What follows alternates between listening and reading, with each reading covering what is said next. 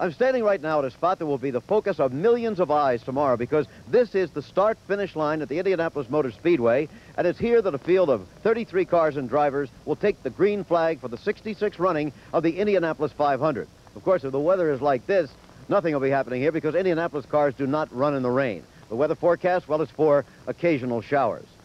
Now, as usual, ABC Sports will be bringing you exclusive same-day coverage of the race, a three-hour program beginning at 9 o'clock Eastern Time, except in the Indianapolis area, which will be blacked out.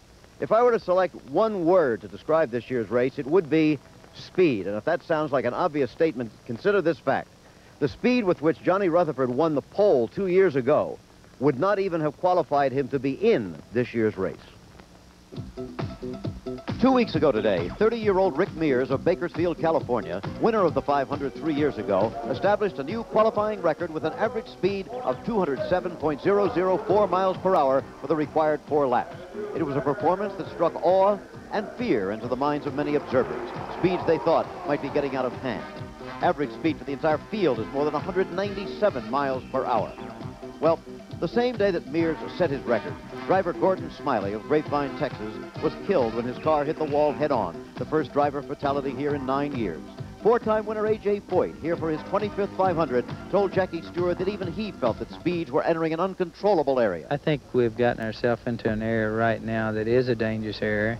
It's a very tricky area. You know, the cars feel so superior, so super, but like you say, Jackie, I don't think a man can control the cars at today's present speeds when you're in trouble because once you lose the ground effects, it's just like an airplane if both wings fall off. You really have no more control. This year's race is a family affair like none before it. Rick Mears, fastest qualifier, is joined in the field by his brother Roger, slowest of the 33 drivers to qualify. Then there are three other sets of brothers. Tom Sneva, who three times has finished second, is here again, along with his brother Jerry, one year the younger. Gary Bettenhausen here for the 14th time. Brother Tony making his second appearance. There are three Whittington brothers. Bill is the fastest, Don is the oldest, and Dale makes his rookie appearance at age 22. Now, last Sunday in practice, Bill Whittington almost lost his place in the field. His car, out of control, smashed into the wall, as you see. But not head-on. He was lucky. The car has been repaired. Bill is sore all over, but ready to go tomorrow. One-third of the field, then, will have fraternal connections in this year's race. There'll be great interest in Mexico. Hector Rebaque, a Formula One driver, has qualified for the first time. Josele Garza, last year's Rookie of the Year, is a national idol back home. Oddly, the most familiar brother act will not race tomorrow. Al Unser's in the field, but Bobby, last year's winner, will be in the pits as manager of the Garza team. So the scene is set.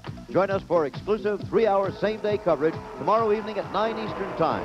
The Indianapolis area is blacked out. In a minute, more World Invitation.